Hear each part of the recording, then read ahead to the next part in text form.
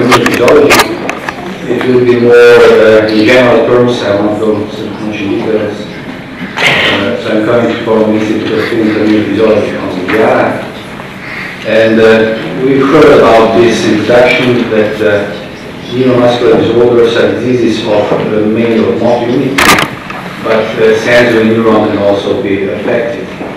So uh, motor neuron consists of motor neuron, motor unit consists of motor neuron with all muscle fibers that innervates. And neuromuscular disorders consist of myopathies, uh, neuropathies, and neuromuscular junction disorders. You've seen this picture before about uh, motor unit being a motor neuron with all these uh, uh, muscle fibers that innervates in the pathway. Uh, so just a more broad view about this, what, uh, what uh, serving peripheral nerves, serve as a, a, a communicator of information between the central nervous system and effector organs. Here we are most interested in muscles. And uh, a very interesting thought from 1924 that everything what we see uh, of people and uh, also animals that is moving is just the result of muscle function. Nowadays with this uh, advanced technology where EEG can trigger also some, some uh, things that people can do, this maybe uh, should need some update. So uh, when we talk about clinical neurophysiology, uh, we always have to start with history and clinical examination. So patients with neuromuscular disorders who complain of weakness, that can be described as handicap or disability. They, they can talk about sensory disturbance. They can also talk about autonomic disturbances. So it is also useful to have a clinical uh, ways how to make a distinction uh, between probably uh, acquired and probably hereditary disorder. And this for uh, hereditary neuropathy, uh, we will think about it if it is slowly progressive, if there are some uh, foot or other deformities found. Then Interesting that those patients many times don't have any positive uh, uh, sensory symptoms. That means tingling, paresthesia, uh, but they have clear sensory signs on uh, examination. And also, as I will demonstrate later, it is also important what, what kind of, of uh, abnormalities we found on nerve conduction studies. So during clinical examination, we do inspection, palpation, we do muscle strength testing uh, using MRC scale, which will tell us about pattern of involvement, and this helps us to make a differential diagnosis. Then, of course, also sensory testing is important, reflex testing, and sometimes in mildly affected patients, we need to do test of gait or even of, of running to identify uh, small uh, uh, abnormalities at the beginning. So therefore, we talk about clinical neurophysiology as an extension of clinical neurologic examination. And it consists of nerve conduction studies, of needle electromyography, and also of autonomic testing. I will not go into uh, the, the third one, I will just talk about nerve conduction studies and needle electromyography in this presentation. So clinical neurophysiology can be made, can be used for, for uh, making a diagnosis, but also for follow-up of chronic neuromuscular uh, disease patients. So why nowadays it is still important to do clinical neurophysiology? Because uh, we still believe that apart from history and clinical examination, it still, still guides the evaluation process. So before we go to the muscle biopsy and genetics testing, it is in most patients useful to do also clinical neurophysiology. Uh, because therefore, you've heard about genetics, what are the possibilities. But this is also a problem. I mean, the, possibilities are so wide that we need to, to make it as narrow as possible uh, by our techniques. So there are, of course, some uh, patients that don't need nowadays to undergo clinical neurophysiological testing because this testing also has its drawbacks. One of them is that it's, uh, it's painful. Uh, so if there is a classic phenotype of a well-known uh, inherited disorder, if we have a positive family history, if we have a reliable genetic testing available for this, then uh, we can, uh, and, and, these are, for example, spinal muscular atrophy, a number of muscular dystrophies, and many force, uh, forms of CMT. In these patients, nowadays, we don't need to go and perform clinical neurophysiology. So uh, these techniques are uh, widely available, commercial, commercially available, and uh, when we do nerve conduction studies, we, we stimulate nerves and we can detect responses either from muscle, when then we talk about motor nerve conduction studies, or from uh, nerves, then mainly we talk about sensory nerve conduction studies, although some of those nerves are mixed, and so we can detect responses also from um, uh, uh, from uh, motor fibers. So during needle electromyography, we insert the needle into the muscle and then we observe uh, the uh, muscle uh, activity. And these is different equipment that we use in, in clinical neurophysiological laboratory. So first, few words about motor nerve conduction study. The idea here is to, to stimulate motor nerve. We should know some anatomy, and then we have to stimulate uh, motor nerves at those points uh, uh, that we agree on, and then uh, we uh, detect this is active, and this is a reference electrode, and we obtain this kind of responses, and then we can measure different uh, parameters. And these parameters are uh, how long does it take from our stimulation to response uh, or, or, on predetermined distance, uh, what is the amplitude of response, so, so, how big is this response. We can also, also measure, measure this area, and then for motor nerve conduction studies, we need to stimulate on two points, and then to measure the distance, and then we can calculate from this the latency difference. Also, we can calculate the uh, conduction velocity. And of course, this is I've shown you uh, uh, uh, before. This this was for median nerve. We, we can also perform studies and many other. This is for ulnar. This is for peroneal, for tibial, and and some other nerves as well. Then another type of studies is sensory nerve conduction studies, where we measure sensory nerve action potential. So these are sensory nerve action potentials. We get it, as I, I told you before, this is the stimulating electrode, this is the fixed distance, and this is the detection electrode. This electrode is called the ground. This enables us to re reduce the, the artifacts and other uh, technical problems. So we stimulate here, we detect here, and then we get uh, a response like this. And of course, uh, again, we can, we can uh, measure different parameters, and this, uh, these parameters are again latency, amplitude, and we can also measure conduction velocity. And we, we, can perform these studies also for, for other nerves, not just for median, shown uh, uh, before. This is for radial, this is for ulnar, this is for sural uh, nerve, but many others. So, what is the use of these studies? Uh, when we found, for example, normal, uh, normal sensory nerve action potential uh, with uh, severe motor imp impairment, uh, then it means that this is a purely motor condition. So that means this this uh, this shortens our differential diagnosis quite quite a bit.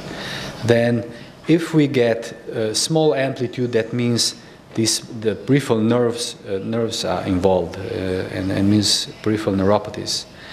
And also, if we have different kinds of demyelination, uh, if it is uniform, then it's probably uh, uh, inherited. If it's not, then it's probably acquired. And so, with this in mind, we can we can we can analyze. So the cause of muscle weakness can be first either peripheral or central then it can be uh, caused either, either due to a, a condition affecting nerves, muscle, neuromuscular junction, and if it is the, the nerves, it is just motor fibers, it is also uh, sensory fibers, and then these types, axonal or, or demyelinating and uniform, non-uniform. So this way we can really cut the differential diagnosis of a weak patient uh, considerably. So the nerve conduction studies can uh, nowadays also help us to, to build uh, uh, specific protocols which tells us what to test first. Although we have uh, hundreds of different tests, it is with this in mind, it is important to go straight to the, to the right one first. And uh, another important thing that we uh, should keep in mind is that we, when we stimulate uh, peripheral nerve, we are actually, actually stimulating a population of nerve fibers. Therefore, we have to stimulate with, uh, with strongly enough to, to uh, activate uh, all thick nerve fibers and the amplitude of responses that we, uh, I was showing you before, that means uh, the number of bioelectrical generators. That means how many functioning uh, entities are present. And the velocity will tell us about function of myelin, so, so mean the insulation around uh, the nerves. And, and this way we can, we can see something that we cannot see by clinical uh, examination alone. So another possibility that we have in our hands is electromyography that also uh, records muscle bioelectrical activity and it studies uh, motor units which are gener uh, generators of uh, uh, bioelectric activity here are muscle fibers. So we can divide this examination.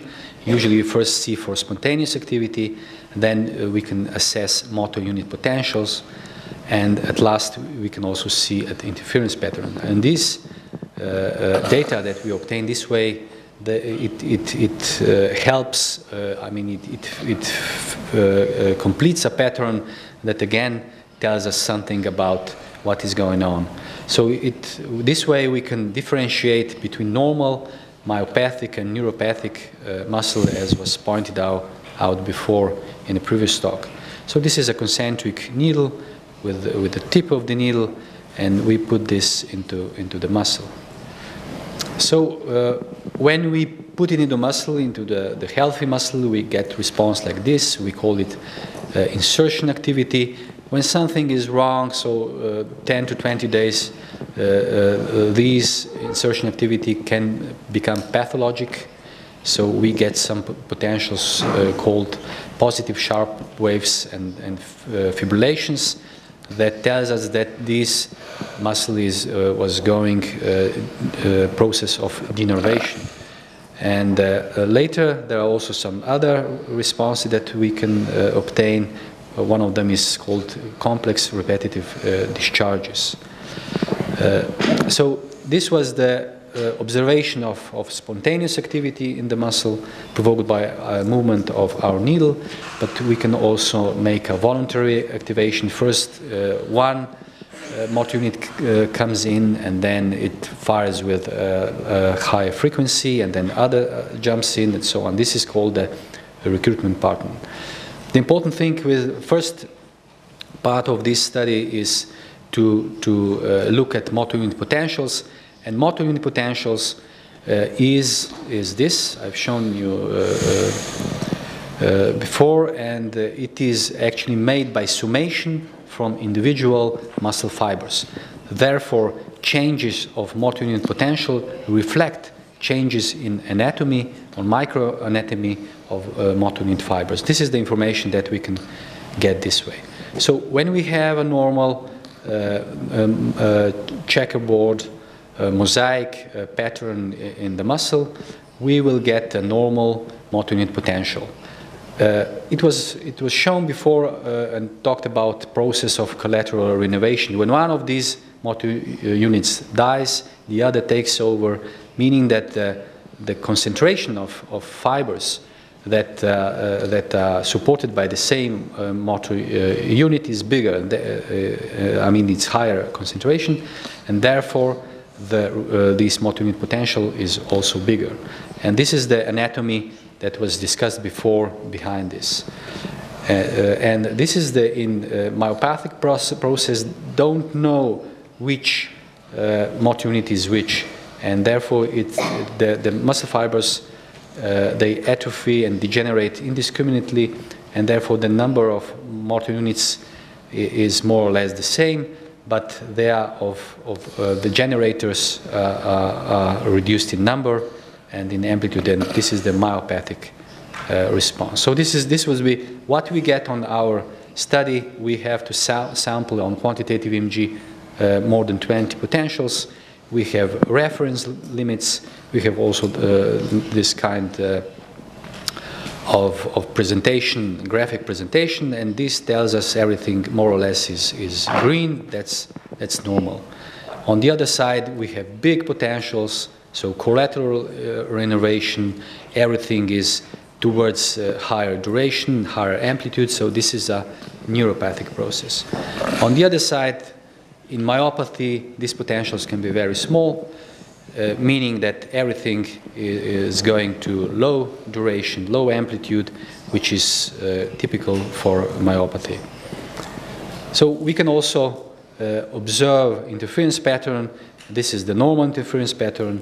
This is the reduced. I explained before that number of motor units available in, in neurogenic disorder is reduced. Therefore, and, and those that remain uh, due to pro process of collateral innervation take over and become bigger. And here, due to uh, uh, degeneration of muscle fibers, myopathic pattern uh, becomes smaller. A uh, few words about motor neuro neuron disorders. So we need both of these uh, to establish diagnosis of motor neuron disease and you can have sporadic and hereditary. You can have more upper and more lower motor neuron, and uh, there are different names that goes with this. And we will find these muscles uh, denervation activity and neurogenic changes. On the other side, we can also tell much about uh, myopathy. So for some, some myopathies, uh, curiously have completely normal EMG Others will have myopathic MAPs with fibrillation potentials.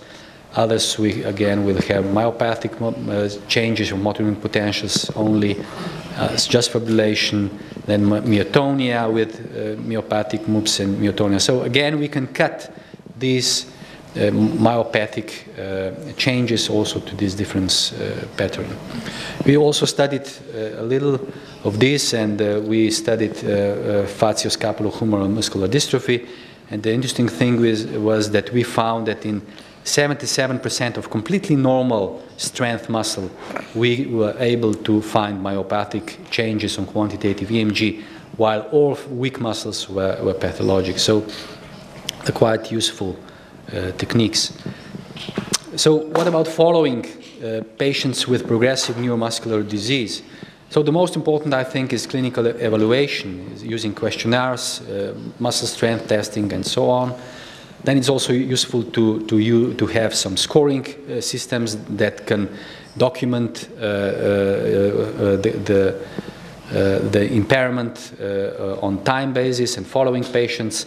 But clinical neurophysiology also have its place because, for example, neurogenic changes and muscle fiber hypertrophy try to preserve uh, muscle strength. This is, uh, as we, we heard before, compensatory uh, system. So when we get very abnormal EMG, that is often not a bad thing, because that means that something is going on. It's not just falling off.